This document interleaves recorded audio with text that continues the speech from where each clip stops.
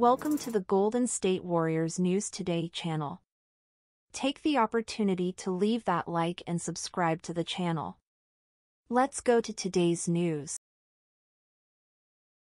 Unfortunately, Warriors fans will have to deal with Andrew Wiggins' absence from the game against the Washington Wizards on Tuesday night at Capital One Arena due to personal reasons.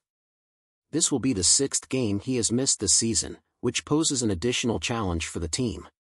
Interestingly, while Wiggins will be absent, Chris Paul is set to return to the rotation on Tuesday after being sidelined for nearly two months with a broken left hand. The team's dynamics will certainly be impacted, and fans are eagerly awaiting to see how this unfolds. The matchup in Washington marks the start of a four-game road trip for the Warriors, who will face the New York Knicks on Thursday, the Toronto Raptors on Friday and the Boston Celtics on Sunday a challenging sequence that will test the team's depth and resilience. While Wiggins missed much of last season for personal reasons, it is unclear if this absence is related to that. The 29-year-old All-Star has had ups and downs throughout the season, including time on the bench and trade rumors.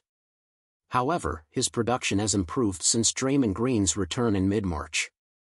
In the last 16 games, Wiggins averaged 14.9 points and 4.6 rebounds, with an impressive 53.8% shooting from the field and 46.4% on three-point attempts.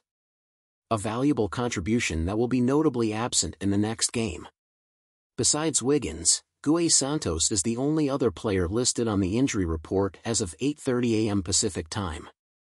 The rookie is dealing with inflammation in his right knee after a weekend injury while playing for the Santa Cruz Warriors in the G League. Now, Warriors fans are left to speculate about how the team will face these challenges and how the missing pieces will be replaced. What is your opinion on the situation? How do you think the team will do in this sequence of away games? We're all eager to hear the opinions of true Warriors fans.